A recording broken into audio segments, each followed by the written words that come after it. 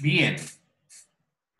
Entonces estábamos viendo las salidas alternativas dentro de los efectos de la formalización, eh, entendiendo de que el sistema acusatorio precisamente lo que proporciona, lo que permite, son estos acuerdos entre los intervinientes.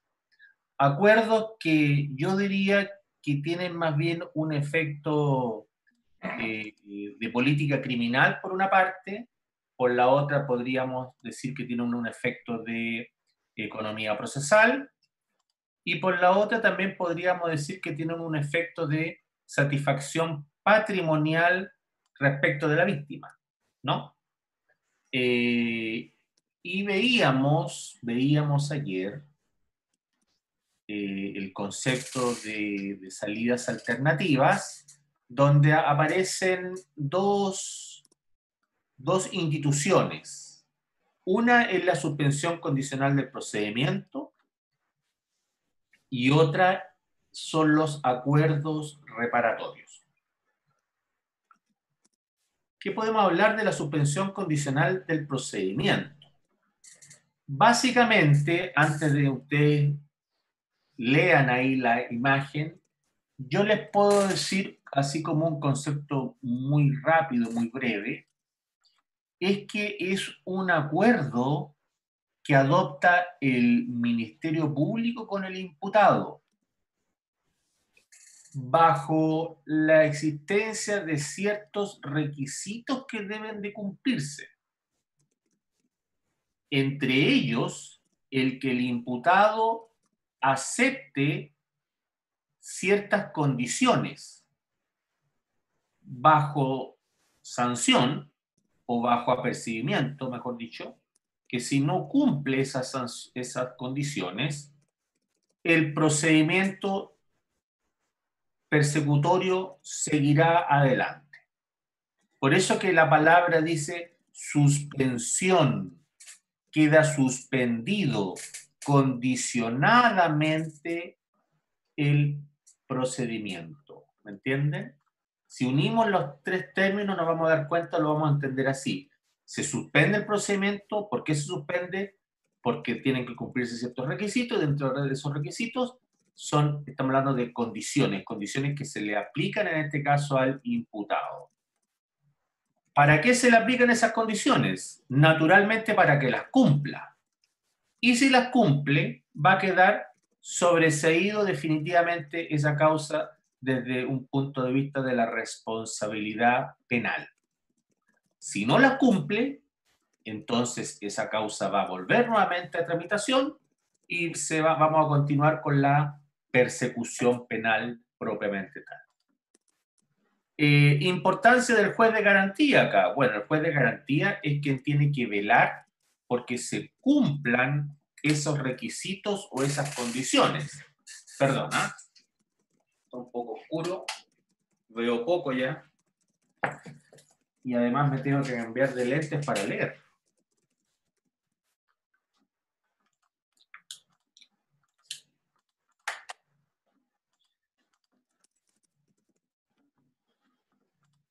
Bien. Eh,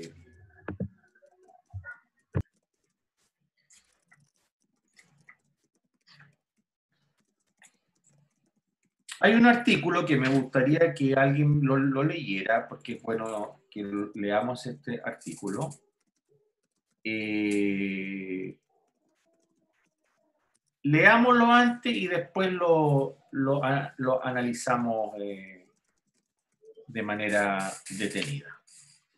Eh, a ver, yo no quiero ser con ustedes latoso, pero yo al hacerles leer los artículos a ustedes, a lo menos intento de que ustedes se, familiaricen con el código para que en el fondo ustedes lo puedan el día de mañana interpretar correctamente, no para que se aprendan las cosas de memoria, ¿ya?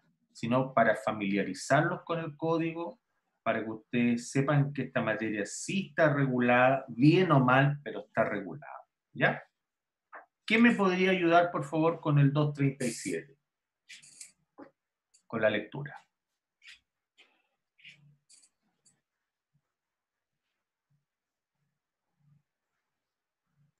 Yo, profe, yo leo.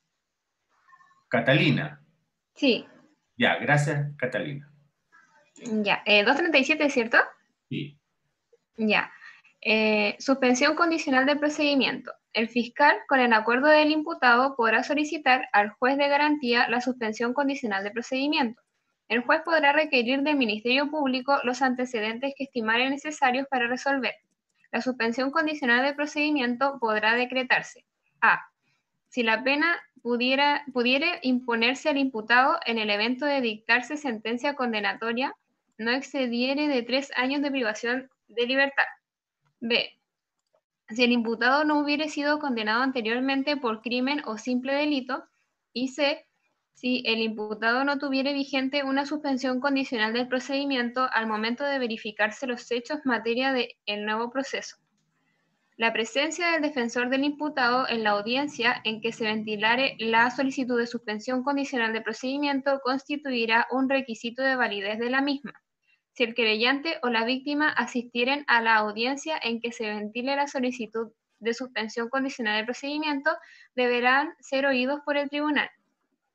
Eh, tratándose de imputados por delito de homicidio, secuestro, robo con violencia o intimidación en las personas o fuerza en las cosas, sustracción de menores, aborto, por los, eh, por los contemplados los artículos 361 a 366 bis y 367 del Código Penal por los delitos señalados en los artículos 8, 9, 10, 13, 14 y 14d de la Ley 17.798 y eh, por otros delitos o cuasi delitos contemplados en otros cuerpos legales que se cometan empleando alguna de las armas o elementos mencionados en las letras A, B, C, D y E del artículo 2 y en el artículo 3 de la citada ley 17.798 eh, y por conducción en estado de ebriedad causando la muerte o lesiones graves o gravísimas, el fiscal deberá someter su decisión de solicitar la suspensión condicional del procedimiento al fiscal regional. Al decretar la suspensión condicional del procedimiento, el juez de garantía establecerá las condiciones a las que deberá someterse el imputado por el plazo que determine, el que no podrá ser inferior a un año ni superior a tres, durante dicho periodo no se reanudará el curso de la prescripción de la acción penal. Asimismo, durante el término por el que se prolongare la suspensión condicional del procedimiento, se suspenderá el plazo previsto en el artículo 247. La resolución que se pronunciare acerca de la suspensión condicional del procedimiento será apelable por el imputado, por la víctima, por el Ministerio Público y por el querellante. La suspensión condicional del procedimiento no impedirá de modo alguno el derecho a perseguir por vía civil las responsabilidades pecuniarias derivadas del mismo hecho. Gracias. De nada.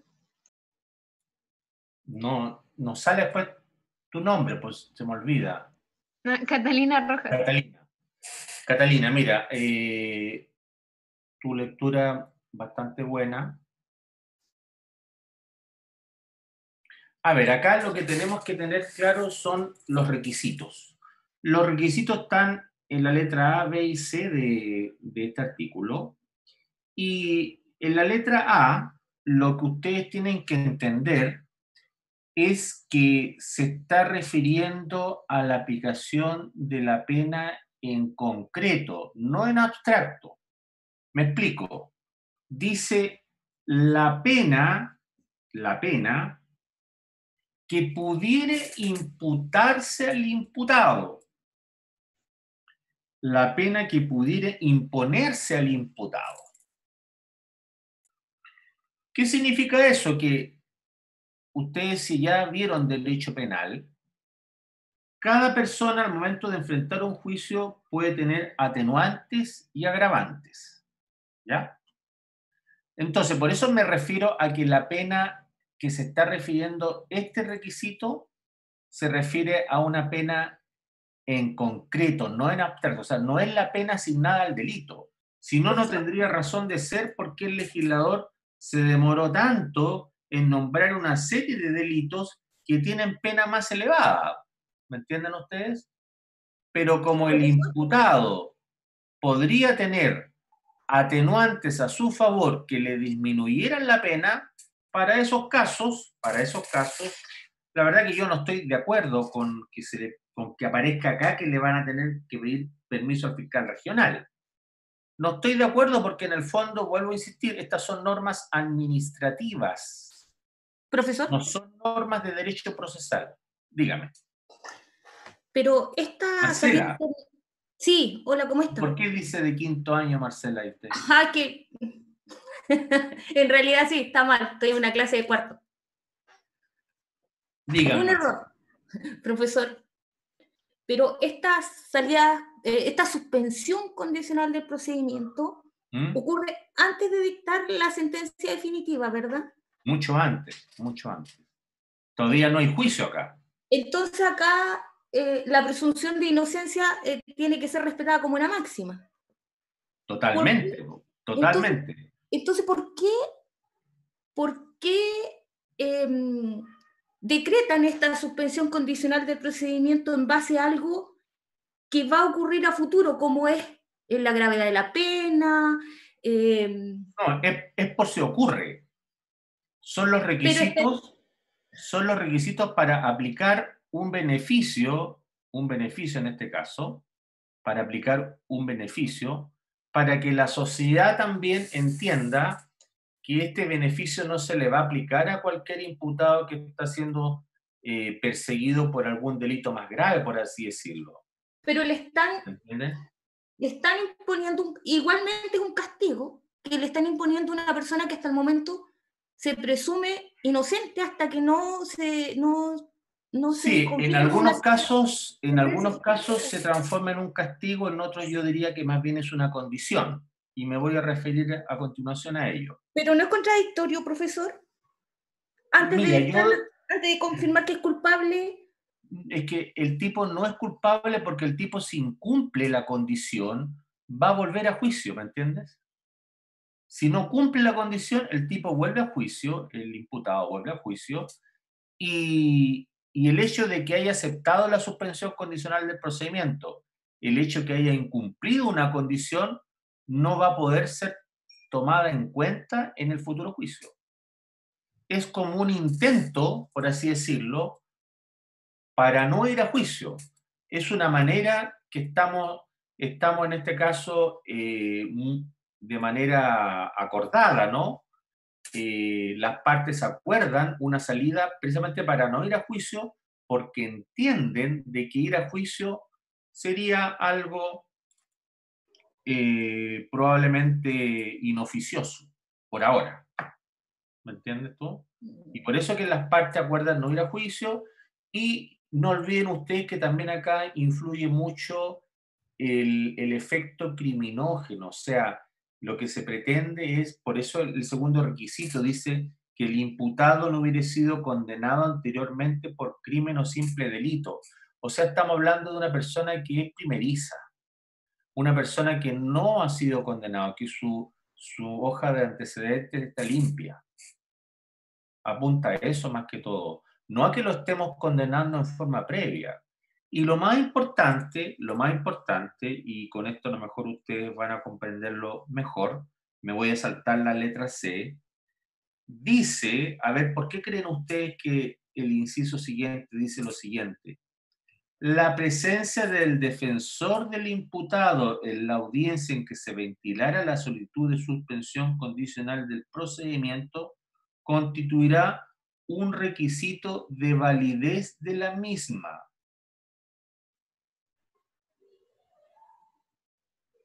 para que no pasen a llevar los derechos del imputado. Claro. ¿Y cuál es el derecho principal que tiene el imputado? El derecho a la defensa. Pero dentro de ese derecho a la defensa, ¿cuál es el derecho principal? Un juicio justo. El eh, derecho a ir a juicio oral. No olviden nunca eso. El imputado es el que tiene el derecho a ir a juicio oral, no la víctima no el Ministerio Público, el imputado. ¿Y por qué tiene derecho a ir a juicio oral el imputado? Porque se ha puesto en duda su inocencia. Y como se ha puesto en duda su inocencia, él tiene derecho a que eso se aclare. Al menos en teoría es así. Ahora, de un punto de vista práctico, y así también tenemos que entender el sistema, las dudas las dudas, eh, podrían no ser tan, podríamos decir que el, el, hecho de la imputación atendido a la cuantía misma del caso no amerita a seguir adelante con un juicio por muy inocente que siga siendo, ¿no? Y prefiero a lo mejor cumplir una condición para poder salir rápido de este problema y probablemente no, no eh, correr el riesgo, porque no olviden usted que siempre hay riesgos en los juicios y por eso hablamos de márgenes de errores permitidos o posibles, de que un inocente sea finalmente condenado de manera indebida. Profesor, y después de esto, si cumple con todas las medidas, ¿no quedas indicado como, como culpable y que cumplió pues, una condena? Si cumple con todas las condiciones, si cumple con todas las condiciones, el efecto que se va a provocar es un efecto muy bueno del punto de vista penal, porque se va a sobreseer definitivamente la causa respecto al imputado. Pero volvemos nuevamente a las cuerdas separadas de la responsabilidad penal y de la responsabilidad civil. Porque en este caso, la responsabilidad civil queda total y absolutamente, eh, digámoslo así, abierta, queda total y absolutamente eh, con vida, no se extingue, sino que por el contrario, la víctima puede perfectamente accionar en un juicio civil en contra del, del, imputado en este caso. ¿Y, si, en el mismo juicio eh, interpone la parte civil la víctima? Que no, no, va, no va a poder acá interponer eh, acción civil en este tipo de juicio porque Generalmente las suspensiones condicional de procedimiento operan en juicios simplificados. Y en ah. los juicios simplificados no, no hay juicio, no hay acción civil. Y lo segundo, estamos en una etapa muy anterior. No olviden que estamos en la etapa de investigación. No hay todavía acción civil acá. No hay acusación. ¿Me entienden? Ya, profesor. Estamos recién en la etapa de investigación. Más allá que después también vamos a ver que esta salida alternativa podría ocurrir en la etapa intermedia. Pero veámosla ahora en la etapa de investigación y en la etapa de investigación no tenemos acción civil por ahora. Eh, eso es lo que les podría decir. El, tercer requisito dice claramente que el imputado no puede eh, tener vigente otra suspensión condicional del procedimiento al momento de verificarse los hechos. O sea, significa que el imputado, si está cumpliendo condiciones y luego vuelve a incurrir en otro hecho calificado como delito y se le pretende aplicar nuevamente esa suspensión, no va a poder porque ya colisionó con la suspensión anterior. Entonces esa colisión no le permite y ya con respecto al segundo hecho puntualmente, eh, va a tener que derechamente ir a, juicio. ¿no? va, no va a poder aplicar esta, esta salida alternativa de suspensión condicional del procedimiento. Eh, en cuanto a los plazos acá, eh, se establece que en relación con las condiciones, eh, el plazo no podrá ser inferior a un año ni superior a tres años, ¿ya?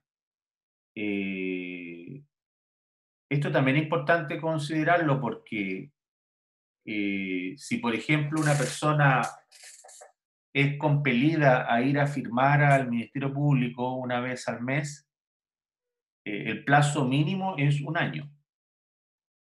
¿Ya?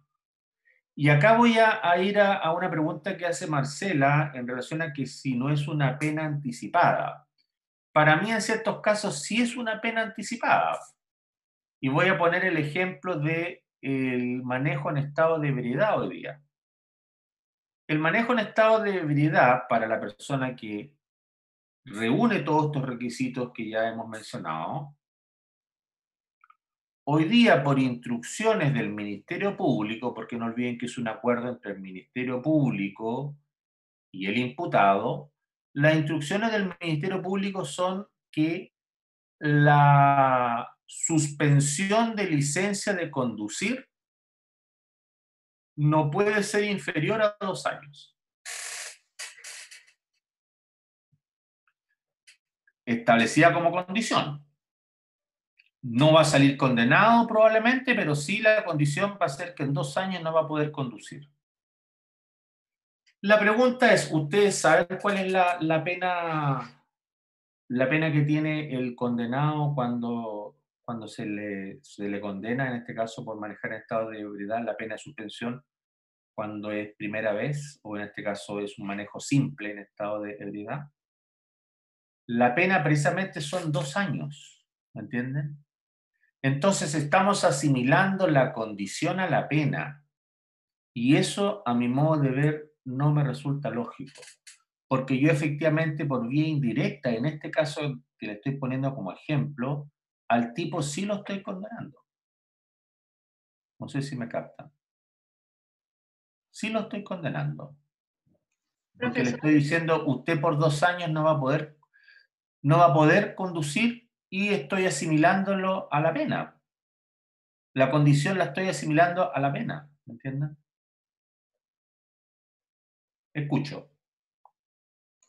Eh, tengo una duda. Em, ¿Esta suspensión condicional de procedimiento eh, tiene algo que ver con, el delito flagrante? Así como, eh, porque en ese caso yo podría verlo algo así como más que em, están dando por hecho que cometió el, delito, por decirse así. Por eso se podría imponer esa pena, esa suspensión condicional que en el fondo sí es una pena. No sé si me entiende.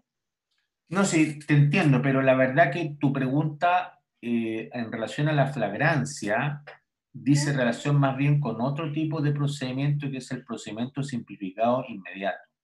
Mm. ¿Ya? Lo que estamos hablando ahora es otra cosa, es una suspensión condicional del procedimiento cuando en definitiva podría tener alguna relación en la medida que la flagrancia ocurra respecto de un delito de mínima cuantía o de menor cuantía.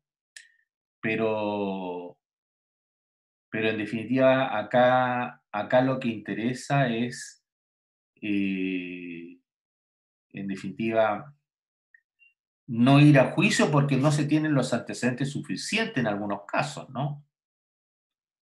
E, eso es en teoría, ¿no? En, teoría lo que, lo que deberíamos captar en el mensaje de, los, de las suspensiones condicionales del procedimiento o no ir a juicio porque en definitiva eh, no vamos a sobrecargar el sistema con muchos juicios que en definitiva no vamos a poder darle prioridad a aquellos asuntos que sí lo merecen.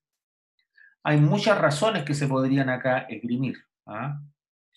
eh, pero yo le daría relevancia o importancia a la, a la alternativa que se da, en este caso, de que las partes sí puedan tener acuerdos, sí puedan pactar, ¿entienden? Porque en la medida que tengan acuerdos, que puedan pactar cosas, evidentemente que eso va a posibilitar eh, que también hasta cierto grado la víctima salga beneficiada, porque les voy a poner un solo ejemplo. Acá la condición, la, la condición eh, puede ser perfectamente que se fije una cantidad determinada de dinero en favor de la víctima por concepto de indemnización de perjuicios. Entonces, de manera inmediata, la víctima que se vio perjudicada, eh, curiosamente acá la víctima sí va a estar representada por el fiscal, por eso que la víctima tiene que ser oída. Digo curiosamente porque la víctima no, no está representada por el fiscal, pero en este caso sí podría representarla. Entonces, el fiscal le va a decir al imputado, ¿sabe qué? acá hay un hecho que se cometió, eh, hay una víctima potencial que está perjudicada, establezcamos una condición para que esta, esta víctima por ahora salga indemnizada con X cantidad de dinero. Ahora, ¿por qué digo por ahora? Porque la víctima podrá obtener el dinero aquel sin ningún problema, pero si ella entiende de que su perjuicio es mayor, perfectamente por la diferencia puede accionar en sede civil. ¿Me entienden? Porque la suspensión condicional del procedimiento, aún habiéndose cumplido las condiciones, no va a extinguir la responsabilidad civil. Entonces, de ahí que estos pagos parciales, por así decirlo, van a ayudarle a la víctima. La víctima no debería de negarse, debería de recibirlo, porque en ningún caso va a extinguir la responsabilidad civil. No sé si me captan se extiende la responsabilidad penal en la medida que se cumplan las condiciones. Ahí se va a extinguir con el sobrecimiento definitivo. Ahí en pantalla ustedes están viendo los requisitos, ¿no es verdad? Eh, ya lo habíamos visto, ya lo habíamos leído. Eh, también es importante que el imputado acepte someterse a la condición. Y esto está relacionado con lo que habíamos dicho ya que el imputado es el que renuncia a ir a juicio oral. ¿Entienden? Eh, y finalmente, quien decreta la suspensión condicional es el juez de garantía.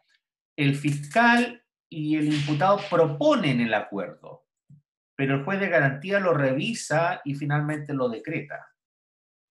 Y lo va a revisar y luego lo va a fiscalizar en cuanto a si se cumplieron o no las condiciones porque finalmente va a ser el juez de garantía, si se, si se cumplieron las condiciones, quien va a decretar el sobreseimiento definitivo. Si no se cumplieron las condiciones, deberá retrotraerse la causa y seguir adelante el fiscal con la, con la investigación, ya sea con el cierre de la investigación, etc. efectos que provoca esta, esta institución.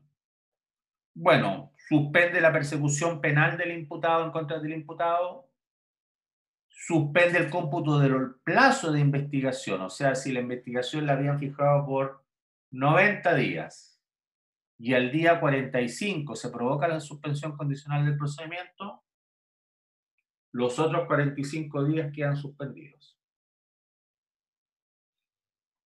y no extiende acciones civiles de la víctima o de tercero. ¿Alguna pregunta con respecto a esto? Profesor, yo tengo una. Dime, Pablo. Eh, si es que una persona ha sido sometida a una suspensión condicional del procedimiento. Y Puedes hablar un poquito más fuerte porque no, no, te escucho mucho. A ver. A ver ahí. ¿Me escucha bien ahora o no? Ahí sí, sí. Ya.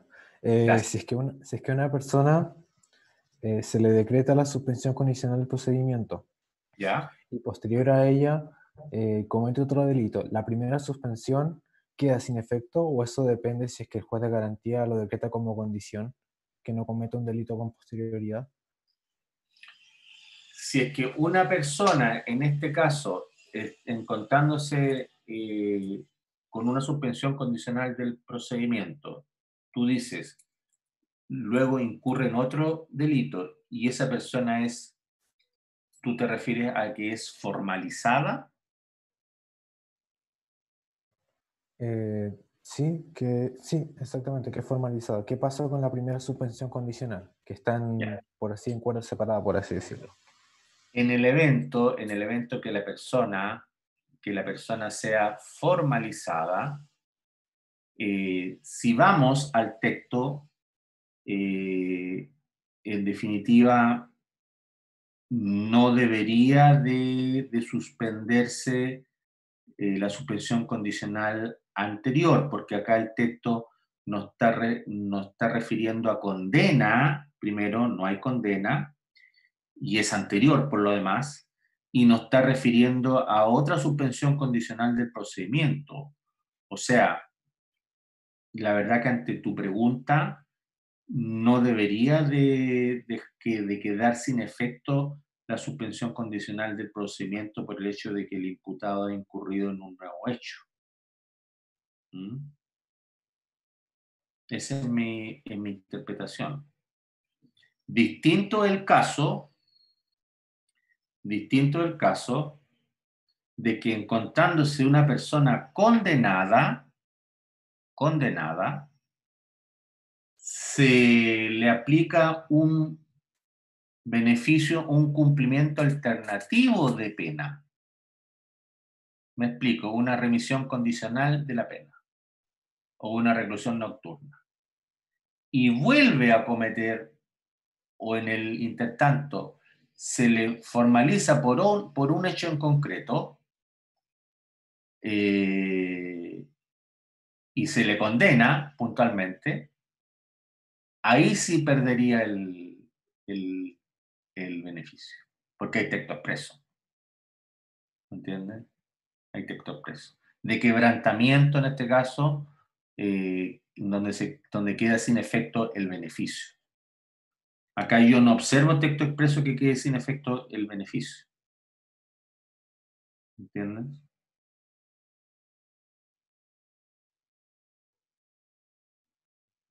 Esa es la, la respuesta que te puedo dar.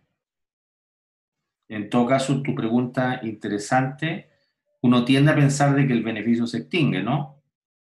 Pero encontrándose cumpliendo, cumpliendo, ahora puede, puede darse, puede darse otra situación. Profe. Que el tipo quede privado de libertad. Y si el tipo queda privado de libertad y la condición la tenía que cumplir en libertad, obviamente que ahí no va a poder cumplir la condición. Entonces, ahí por un efecto eh, extensivo, se tendría que revocar la suspensión condicional del procedimiento. Porque no va a poder cumplir la, la condición. ¿Me entiendes? ¿Sí, Marcela? Estaba pensando, ¿qué pasa Ahora, por ejemplo, eh, si una de las condiciones sea una firma semanal, mensual, quincenal, eh, en, alguna dependencia, no sé, en algún juzgado, en algún policía. ¿Qué pasa ahora, por ejemplo, en la región metropolitana, cuando hay que pedir permisos y los permisos están restringidos? Bueno, las, las condiciones aquellas por ahora están, están suspendidas. No pueden las personas ir a firmar. Esas condiciones quedaron suspendidas, las han ido reemplazando. Eh, hay algunas condiciones probablemente que la están haciendo vía virtual. Eh,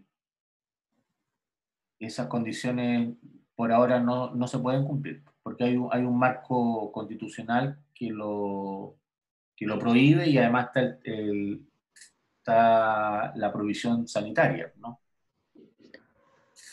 Entonces no, no, se están aplicando condiciones que no se puedan cumplir. Mm. ¿Entiendes?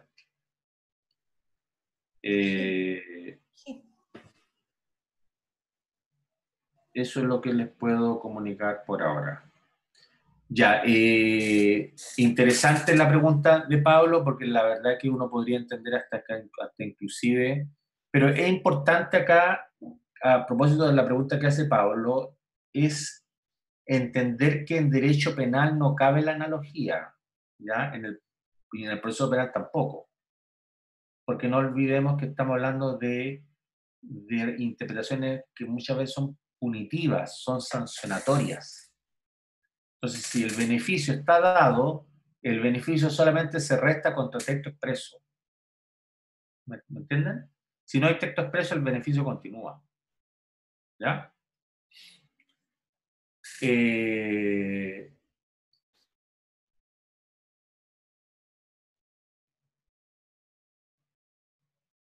bueno, acá está un poco lo que, lo que Pablo preguntaba en cuanto a la, a la revocación. Efectivamente, Pablo tiene razón en que se realice una nueva formalización de la investigación en contra del imputado por hechos distintos. Ahí, ahí está el, el texto expreso. Entonces, eh, la, lo dicho anteriormente lo rectifico y efectivamente ante una nueva formalización, que era lo que a mí me, me causaba, en este caso, extrañeza, ¿no? Pero ante una nueva formalización, la persona debería de, de se le debería de revocar el beneficio que tenía y el incumplimiento grave, preciso y reiterado de las condiciones impuestas. Me voy a referir brevemente a este incumplimiento grave, preciso y reiterado de condiciones impuestas. Que esto me parece que está en el artículo 239. Eh, acá cuando hablamos de terminología que no ha sido definida por el legislador, cabe precisamente una interpretación bastante amplia por parte del juez y, e introducir factores o pautas de estándares, estándares de convicción que permitan entender cuándo estaba en presencia de un incumplimiento grave. Cuando estaba en presencia de un incumplimiento, en este caso, eh, reiterado,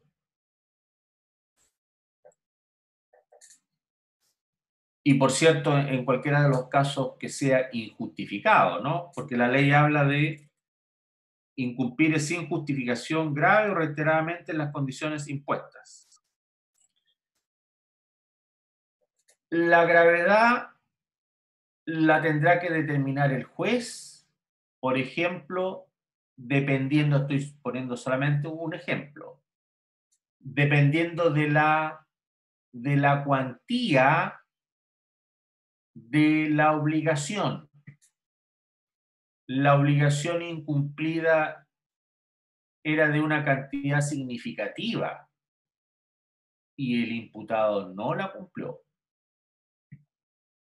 La gravedad podría ser vinculada con, por ejemplo, el delito de manejo en estado de ebriedad. Aunque es un delito el conducir sin licencia de conducir o conducir con una licencia de conducir suspendida, es un delito, pero también podría quedar acá atrapada o podría ser causal de revocación de ese beneficio porque se entiende un hecho grave que una persona que tiene suspendida su licencia de conducir siga conduciendo. ¿Me entienden? Entonces la gravedad va a tener una, por así decirlo, una connotación que el juez de garantía se lo tendrá que dar dependiendo del caso concreto. Y podrían establecerse pautas perfectamente cuando vamos a estar en presencia de hechos de incumplimientos graves. Lo mismo con respecto a la reiteración. Hablamos de reiteración de un incumplimiento, de dos incumplimientos, de tres incumplimientos. La verdad que eso va a depender de las cuotas. Por ejemplo, si se pactó una indemnización de perjuicio en cuotas y se pactaron 10 cuotas y la persona ha incumplido en cinco cuotas, para mí eso es reiterado. ¿Me entienden? Es reiterado ya el incumplimiento. Y eso podría dar lugar a que se le revoque el beneficio. ¿Me entienden? La gravedad o la reiteración también podría estar determinada con el apercibimiento que determine el juez de garantía, porque cuando las partes no cumplen la condición, cuando la víctima no el imputado, perdón, no cumple la condición, se le cita una audiencia para ver por qué no cumplió. Y en esa audiencia, lo que hace el abogado defensor es justificar al imputado en cuanto a su incumplimiento, precisamente para que no le revoquen el beneficio. Y entonces, en esa audiencia, el juez de garantía le va a advertir al imputado en presencia de su abogado defensor que si hay un nuevo incumplimiento, entonces ese nuevo incumplimiento será calificado como grave o reiterado. Y ahí perfectamente entonces cabe la alternativa de aplicar esta causal de revocación. ¿Me entiendes? Pero a la persona ya se le advirtió.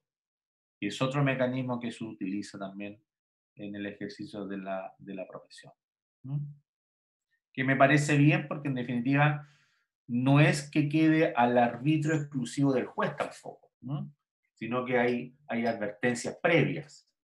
Eh, y lo que se desea finalmente es que las condiciones se puedan cumplir y que, por cierto, también la víctima, la víctima sea satisfecha, sobre todo si estamos hablando de indemnizaciones de perjuicio, ¿no? Se realiza una nueva formalización, también eso ya eh, es un requisito para que, o es, una, es un elemento para que quede revocada esta condición suspensión, esta suspensión condicional del procedimiento. Eh, recursos, la verdad que acá no hemos visto todavía recursos, lo vamos a señalar simplemente de manera muy, muy superficial, eh, pero acá sí estamos en presencia de un recurso de apelación, quienes van a apelar los que se sientan afectados, el imputado, el Ministerio Público, el creyente, eh, y van a apelar respecto de esta suspensión condicional y también podrían hacerlo eventualmente respecto de las condiciones, si entienden de que son eh, poco relevantes o no son equitativas. Y también es apelable la resolución que revoque el beneficio. Eh, yo voy a dejar por hoy día la clase hasta acá. Voy a aceptar alguna pregunta que me tengan que hacer, que me quieran hacer en relación a lo visto. Y veríamos la próxima clase los acuerdos reparatorios.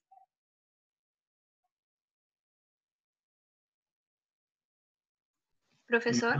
Yo creo, que alcanzamos a lo mejor el acuerdo. Dígame. Eh, o sea, tengo una duda.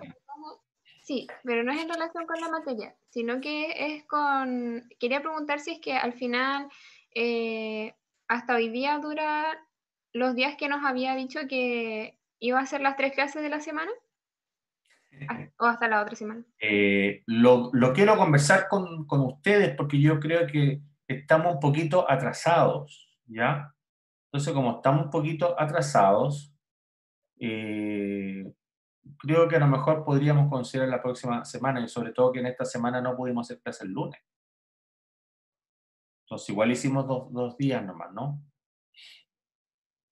¿Les parece o no? ¿Qué piensan ustedes? Sí, buena idea. Y además son clases que tampoco son tan largas, ¿no? A mí, a mí lo que me interesa es que ustedes vayan, vayan entendiendo el sistema eh, y ojalá que se lean los artículos, se los lean, eh, porque en los artículos también van a encontrar ciertos, ciertos complementos a lo, que nosotros, a lo que yo voy diciendo en clase, ¿no?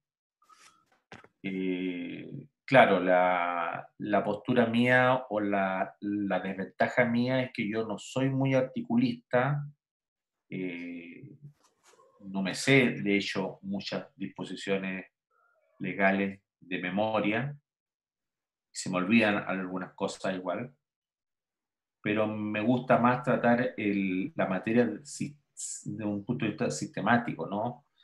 Y por eso que a veces a uno se le escapan también ciertos detalles, ¿no? Pero la idea es entender el problema o, las, o la figura de un punto de vista sistemática, advirtiendo de que esto, esto funciona, funciona eh, con mucho reparo a veces y donde el Ministerio Público también, a través de, de sus políticas, de sus instrucciones, eh, como depende del Ministerio Público el ofrecimiento, también ahí eh, pongo el ejemplo concreto del manejo del estado de ebriedad, el Ministerio Público, eh, estos acuerdos, por así decirlo, son verdaderos acuerdos de adhesión. son verdaderos contratos de adhesión. O lo, o lo aceptas o no. No hay otra opción acá, ¿entienden? O aceptan los dos años de suspensión de licencia de conducir o no hay suspensión de, condicional del procedimiento. Entonces eso, eso tampoco en mi opinión es bueno. Bien, pues vamos a quedar hasta acá para poder pasar la próxima semana. La próxima semana hacemos las tres clases y de ahí después continuaríamos con dos clases nomás. ¿Ya? ¿Les parece?